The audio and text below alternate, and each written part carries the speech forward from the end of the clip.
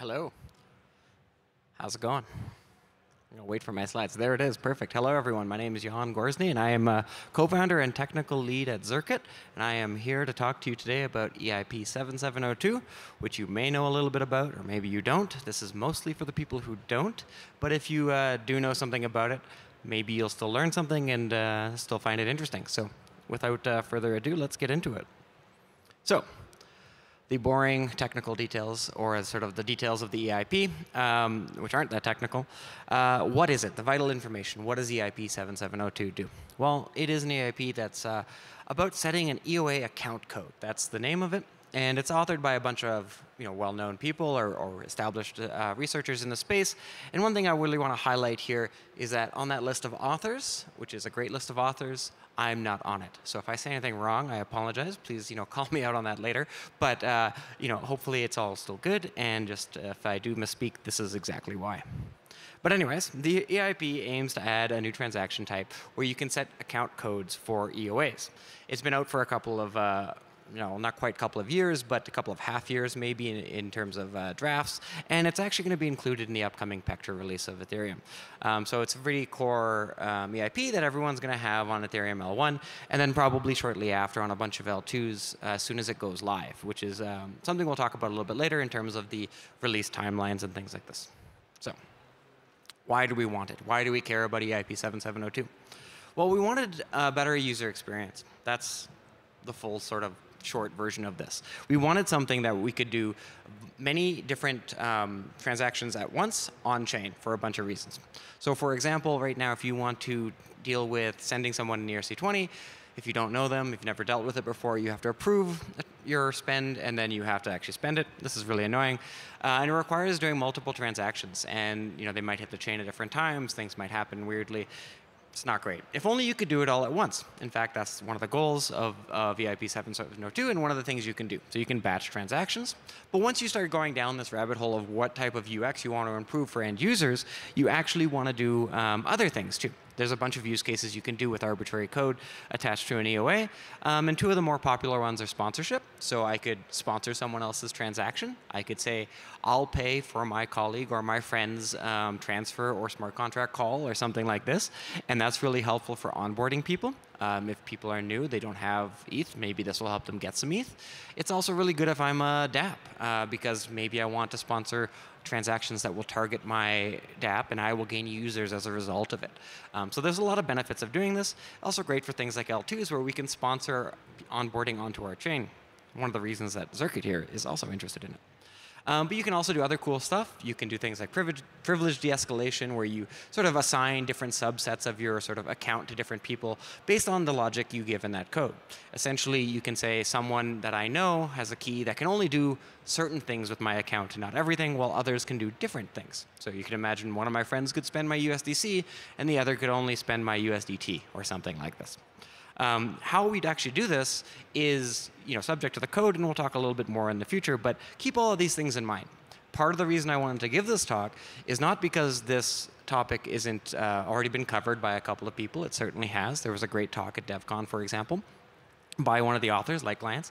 But the other one is that we're at the beginning of Build Week here at Denver, and honestly, it's a hackathon. So if you're looking for things to hack, one of the things that would be really interesting is figuring out ways to use EIP 7702 set codes as um, you know, an interesting project. And I think that's sort of the, the moment to do it is right now before Pectra comes live, but while the protocol is still you know, relatively final.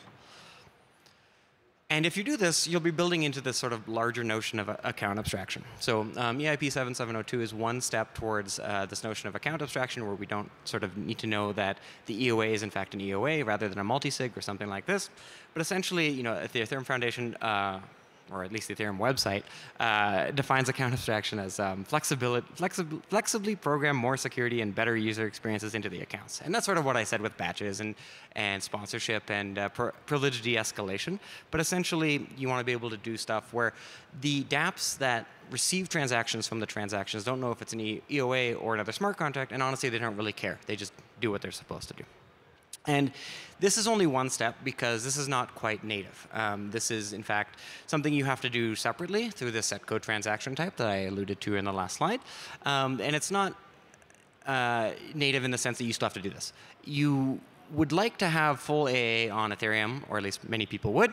Um, and this won't get us there, but it will get us part of the way there. And until we have that full, all the way native account abstraction, this is a pretty good starting point where we can start to get users um, ready for the notion that they could have a smart contract wallet that can do some of the things that they would do maybe by default in the future.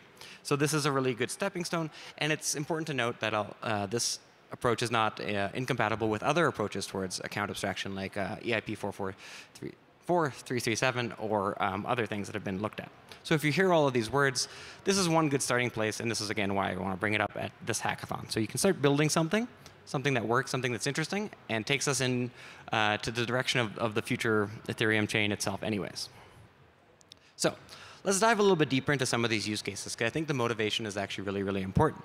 And a lot of people gloss over it because this topic's fairly old. Um, in fact, AA has been sort of hot topic for two or three years, if not longer. And although 7702 only sort of got draft status um, last year, I think, uh, you know, AA has been around. So let's look at some of the critical use, use cases. First, batching. I've already said the case of the ERC20s with the approve and the spend. This is, I think, one of the easiest things you can fix to get users on onto the chain. Most end users, you know, if they only come from Web 2 or Cash or Visa, don't understand the need to approve. They just go and they spend the money and it's all good. Doing this atomically would be very good. You could, you know, alternatively not go down this route and require people to deploy their own smart contracts to do this, but that's a real pain, and that's why we don't want that. Um, but you can also do things like trades. You can also think of more critical sort of infrastructure upgrades. So if you have a big DApp and you need to deploy a new proxy and then initialize it before it's front run, that might be really problematic if you can't do things in batches atomically. EIP 7702 allows people to do this with the right code. The next major use case I think is really, really interesting is this notion of sponsorship, where people will pay for your gas, or you'll pay for someone else's gas. Um, this is helpful, I think, for onboarding a bunch of people, because now you can build apps where if you're willing to pay for you know, the on-chain costs of some users, those users don't even need to be really touching um, a KYC process, or maybe they do. I don't know. I'm not a lawyer, but they don't need to have Ether in their account. They can, you know, just have an account made, an address, and you can pay for their um, their on-chain transactions. And this means, as a dApp developer, you sort of get closer to that Web 2 seamless thing where you just say log in and everything just works. And maybe you still need an address, so maybe it's not, you know, 100% just click here and log in, and there's no Web 3 stuff, but it's a lot simpler. This also means that um, infrastructure projects like Zircuit, where we're building a rollup, um, can sponsor their users to get people on, on chain to do particular things or just anything we want. So this is really cool. And this is not limited to just ETH, right? You can sponsor things um, in other ways as well. Uh, you could sponsor people's on-chain transactions, which are paid in ETH, but you could say that those persons should pay you back in USDC or some other currency or off-chain favors or whatever you want. So I think it's really cool. But the, the list of uh, use cases does not stop there. Um, one of the next big use cases is the idea of enhanced safety. What you could actually do is have part of your um, account code talk to a smart contract that will allow some level of social recovery. That is, you know, if you lose your part of your key to that account, um, there might be a multi-sig attached where if you can go talk to the other people who hold you know that types of privilege or those types of subkeys, um, they can say, oh yeah, actually, well that is you know the person, so I'm going to give back privilege to that account, and we're good. And that's really, really cool because this is also another feature that scares a lot of people who aren't Web3 native, right? If you lose your private keys, it's over. Here, maybe we can do better. We can build it in a little bit more. And that's really, really exciting. And this sort of brings us to this notion of session keys and, and revocability. If you like those people and you want them to always have the ability to socially recover your account, that's great. If you don't, you can also make it so that those keys and those privileges expire over time or you can revoke them. And this means you can sort of do things like approvals that are a little bit more general, not just for tokens, but for actions and sort of general sequences of, of things, arbitrary code. Uh, and then you can revoke them at certain times. So this is really helpful for building out um, different ways to sort of put yourself partially uh, in the hands of someone else without giving up entire trust. So this is really cool. So I did say it was an introduction. It's a bit technical. Let's go a little bit into it. What the EOA, uh, sorry, what the EIP does is introduce a new account trans account type. Uh, sorry, a new transaction type, and the transaction type is called a set code transaction. Uh, it's built on previous work, um, EIP 2718 introduced the ability to new, add new transaction types, and so here we're building on that, and we're using it, and that's not super important, so let's keep, keep going a little bit. But essentially, you get this new transaction, and the transaction contains a whole bunch of things like this. And I'm not going to go through every single one of these. This is definitely helpful if you're going to try to implement some of these things on uh, this hackathon or beyond. But um, there's a couple of things that are really, really important I'll dive into. So at a glance, there's sort of stuff you'd expect, a chain ID and a nonce. This has to come from the people you know, signing this transaction and, and submitting it on the right chain, if that's appropriate, um, gas and all of that. And then there's one really, really interesting parameter, which I've highlighted here in green and that is the authorization list. The authorization list is actually where all of the magic happens for EIP 7702. So let's look deeper into it. The authorization list has um, a couple things in it. It's a list of lists, and um, the inner list has a chain ID. It has an address, a nonce, and a Y, R, and S. So what those things are um, is a way to set up other people's privileges for you to do, oh, sorry, set up other people's privileges to act on your behalf. And the chain ID and address are somewhat st straightforward. The chain ID should match the chain you're putting this, uh, this transaction on, but you can set it to zero so it can be replayed, subject to some sort of caveats, or caveats, sorry. Uh, and then the rest of it is a signature that actually comes from you. So when you create this entry in such a list, you sign it, and we sign it with your public key, and you can recover this from the RNS values. And then what, what happens is the address there um, is actually entitled to act on, on your behalf. And that's, that's really cool. Now, it's got to be non-zero. And why it's cool that you can do this by just signing this entry is that this means someone else can actually submit this transaction for you. You don't even have to pay for the transaction to set your account code. You just need to sign the tuple here, and it'll go through, which is really cool. Some technical details has got to be non-zero no surprise. Wouldn't be very helpful if it was zero. Um, but essentially what happens is that this, we call this a delegation, yeah, deleg delegation designator, where we have um, some ability to say that the code that's in that delegation designator will be run when someone else who you've delegated um, wants to run the code. And the person who you then allow to act on your behalf runs the code that you point to in this list, and everything kind of just works out. So actually, you can load in arbitrary code. There's smart contracts you can point to, and it'll be copied in. It's not quite exactly the same as normal deployment. Um, you have to call an initialization call. I think is my next slide. Um, yeah, you have to call it initialization after you put in this tuple. But once this is done, so you have someone submit this authorization list, and then you have yourself or someone else relay the initialization, the code that's pointed to at each address can be executed by the person you've delegated it to. And this is really, really cool because that's an arbitrary piece of code. And so they can do stuff that you've allowed them to do, which is smart contracts. And that might be sounding really abstract. I probably went too fast still, despite my efforts to slow down. Um, one thing that's really, really important is that uh, what you delegate the code to is, should be what you want it to do. And here's my call to action.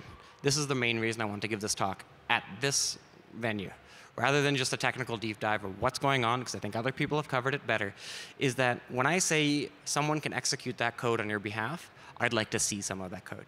And I was looking around for a while, and I didn't see a lot of that code. There are some examples. I think Coinbase has a couple. Um, I think OpenZeppelin is going to work on some. I saw some tweets. But I haven't seen a whole lot right now. And there are testnets out there that actually do support um, EIP 7702. I forget on the networks, but if you look around, they are there. So we should really be at a point where we can say, I want to delegate my code to something that's well trusted. Because as someone who used to be a security researcher in this field, I think it's very important that you don't delegate code to something you don't trust. And the reality is, the two or three or four use cases that I pointed to in the last, in the first couple of slides of this talk are probably the most common, and probably the ones that most of the people in this room and beyond really want to see batching, sponsorship, and social recovery. It's probably the biggest ones. And yet we don't have standards for the delegation code to actually run them. So I'd really like to see uh, some ideas of how that could look. Um, you know, it's a hackathon. Come build some. We don't technically have a prize for this at this one, but if you do deliver anything good, tag me or Dr. Z on Zircuit, and I'd happy, happy to take a look um, for reasons I'll explain in the next couple of slides. Either way, I think this is a good project this time, even if it's not quite as sort of you know, sexy or on hype as AI or DeFi or other things. Because at the end of the day, this might actually onboard people quicker than an AI that does something else. But part of that concern is security. Um, so the delegation of your uh, account to other people or parts of it um, is risky. So you know this is the reason I want to see stuff early because if we develop the stuff early and then it fails, well, we can fix it for later users. So let's get started. Um, ideally, we don't have any issues, but probably we will. Uh, nonetheless, if you do start doing this, be careful. Um, if you delegate to a proxy contract, it can upgrade itself. Now you're delegating sort of arbitrary powers. That might be very desirable. Maybe you trust the person. Maybe you want the ability to update that in some way. In other cases, I'm guessing in a lot of cases, you don't want to do that. That might be very scary because the person you delegate to can arbitrarily update their code, and then, uh-oh, you've got to you know, worry about if they can do something bad or something that you didn't want them to do. Um, for now, I would then rec therefore recommend keeping the delegated code simple. You know, choose one action and delegate to different people different actions. This way it's easy to audit, this way it's easy to understand, and this way you know what rights you're delegating away. Um, I also think that we should practice and sort of work with the idea of removing delegation access. Um, there is a way to overwrite that list so that delegation goes away. And I think this is important. I think in, in the past, we've seen a lot of hacks where people said, uh, revoke your approvals, revoke your approvals. I bet you're going to see you know, similar things, maybe on a smaller scale, about revoking delegated access, either because the person you delegated to is not trustworthy, or because the code that's been at that address um, is problematic itself. And then finally, if you're building just any other dApp out there, um, be aware that now with the introduction of EIP 7702, the invariant that um, TX origin should be the message sender is no, no longer going to hold. So if you're using that to check if something's an EOA, you're out of luck after EIP 7702. You got to do something else. So all of these things should be sort of considered, um, and this is the time to do it. And that brings us to what we're going to do next with it. So Zircuit, the zero knowledge rollup. Um, if you're familiar with us, great. If not, um, we're a zero knowledge rollup with some nice features. And we're standing by to be one of the first to adopt 7702 as soon as it goes live. Um, our new testnet, which is going to be coming out very, very soon, um, sometime this week for sure, possibly in the next couple of hours, um, will be going live. And while it won't actually support um, 7702 just now, as soon as Pectra goes live on mainnet, uh, or sorry, maybe not mainnet, sometime very, very soon, we're going to have support for this, um, possibly before Ethereum mainnet is actually what I'm trying to say. And what this will also mean is that uh, where we, uh, unique feature of sequencer level security where we actually look for malicious transactions in the network will also be adapted to look for malicious 7702 transactions. So this will include um, delegating things to people that you shouldn't be delegating or you know, problems in that delegation code. And that's really exciting. It's going to take us a little bit longer to get that online, but honestly, we're really excited, and I think that'll be an extra level of security. So, almost out of time. What's next? Well, for 7702, it's got to go live. Um, Pectra is supposed to go live on Holesky today. Uh, I don't know if that's happened yet. I haven't looked. I was too busy practicing the talk. Uh, on March 5th, it's going to go live on Sepolia. That's really cool. Uh, at some point then, on that day, if everything goes well, or shortly after that day, uh, people will decide when the mainnet launch of Pectra will be, and that will include um, 7702. And so it'll come very soon, probably a month or so after, I think is what I heard. So for IP 7702, if you have any comments about the technical implementations, better get them in real quick, because it's going live. For Ethereum, the road to abstract uh, uh, account abstraction is not done here. 772 is a great first step, but maybe we still want 4337 or something like it in order to get native AA, and that would be really cool. There's going to be a lot of work here, but getting used to 7702 is helpful. And then for you, as an end user, the call to action is twofold. First, come up with some good delegation code here at Denver. I think that's really exciting. I'd really like to see it. And second, as soon as networks, particularly Zircuit, start to deploy 7702, test and play around with it. See what works, see what doesn't work, see what breaks, see what doesn't break. I'm not saying you're going to break the network, but I want to see those delegation code things break when it's a test run, not when someone puts a lot of money in it and we have to have a bad Twitter thread and people calling for rollbacks of chains, which is not so great. So for now, play around, be aware, learn, use. That's all I've got to say. So thank you. If you have any questions about me, 7702 or Zircuit, come talk to me. I'll be at a booth here or a table over there, or hit me up on email or Telegram or Twitter and check out Zircuit. Thank you.